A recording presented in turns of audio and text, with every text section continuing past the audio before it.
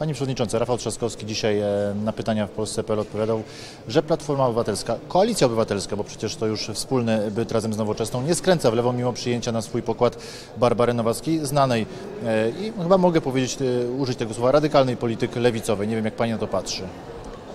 Koalicja Obywatelska dzięki przystąpieniu Barbary Nowackiej ma rzeczywiście takie środowisko lewicowe.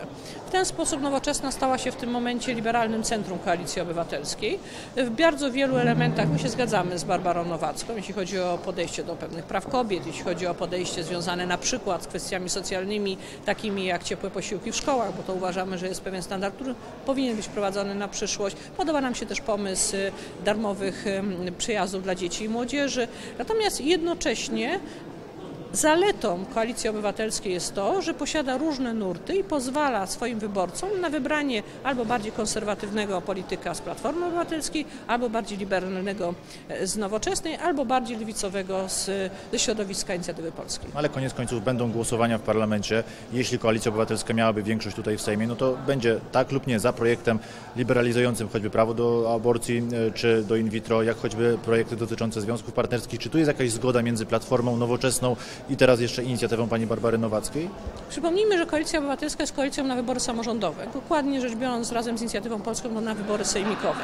Jeżeli będziemy podejmować decyzje o współpracy na wybory europarlamentarne lub parlamentarne, to wtedy będziemy musieli stworzyć wspólne minimum programowe, które będzie obowiązywać wszystkie partie. Nie wiem, jakie treści się tam znajdą. Na pewno nam, na przykład jako nowoczesnej, będzie zależało na takich sprawach jak kwestie wolnościowe. Jest możliwe takie minimum programowe od konserwatystów po liberałów i lewicowców?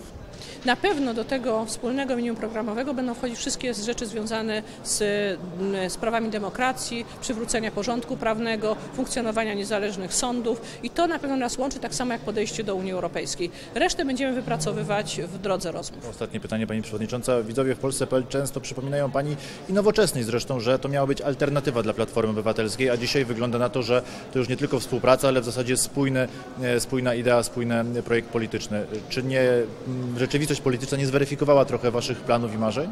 To jest oczywiście układ partnerski. My współpracujemy, to jest jednak koalicja, typowa koalicja. W odróżnieniu od PiSu, który nazywa się koalicją, ale tak naprawdę przedstawiciele Solidarnej Polski i Porozumienia. porozumienia głos, kandydują z list Prawa i Sprawiedliwości. U nas jest to rzeczywiście komitet koalicyjny, porozumienie dwóch partii. Natomiast y, równo, równocześnie zdajemy sobie sprawę, że po tych trzech latach widzimy, że zdecydowanie bardziej Polsce jest potrzebna alternatywa do PiSu, który niszczy podstawy demokracji w Polsce i powoduje, że Polska traci swoją e, opinię i pozycję międzynarodową. A tamte uwagi i krytyka Państwa sprzed dwóch, trzech lat e, kierowana pod adresem Platformy Obywatelskiej, Grzegorza Schetyny, liderów e, ówczesnych partii, które rządziły Polską?